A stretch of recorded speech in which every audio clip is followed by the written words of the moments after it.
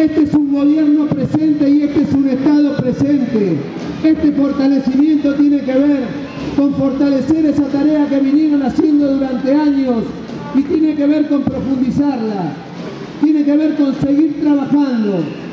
Nos ofenderían si no dijeran nada más que venimos a ver el fortalecimiento, que venimos por el material deportivo.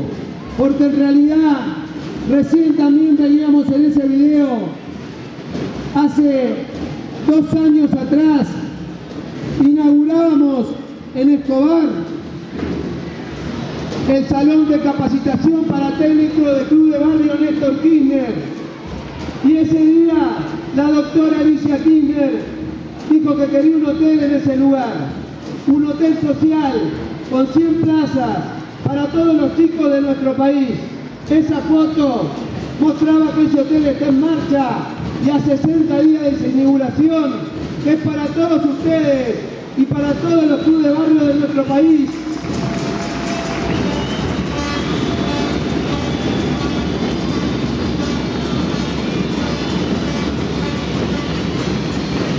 Pero nada, nada tendría sentido si no, si no seguimos trabajando por eso que más queremos, que son nuestros chicos. Nosotros decimos siempre que los chicos no nacen malos. Y el Estado, el Estado presente, tiene obligaciones, obligaciones de dar esa contención. Entonces a veces hay una responsabilidad que es federal de la nuestra, pero la responsabilidad de contención también es de los municipios. Y si a veces se hacen los distraídos, acá hay un Estado presente, este gobierno de Cristina, este gobierno que comenzó en esto, está presente junto a ustedes para dar ese fortalecimiento que los chicos necesitan.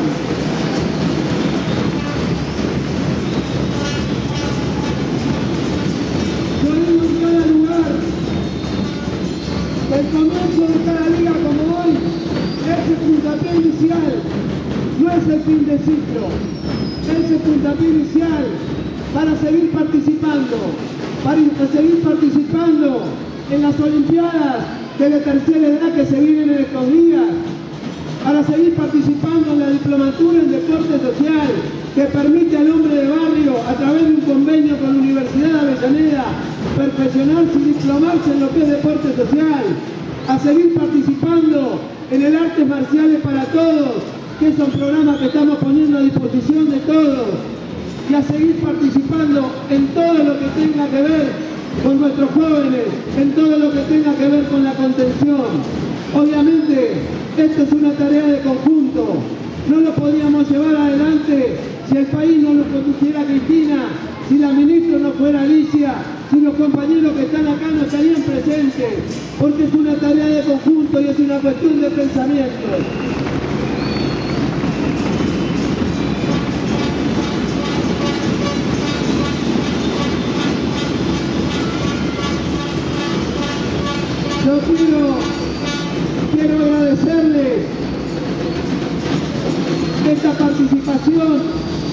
Este recibimiento que estamos recibiendo en todos los lugares del país, pero por sobre todas las cosas, invitarlos a seguir luchando, a seguir trabajando junto a nosotros por todo lo que hace falta, a seguir poniendo el corazón, pero sabiendo que hay un Estado que permanentemente los acompaña.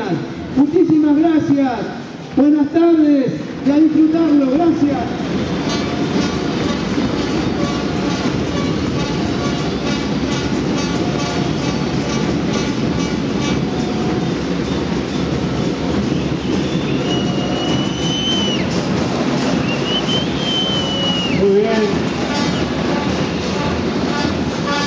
Vamos a proseguir ahora con la entrega de una placa de reconocimiento.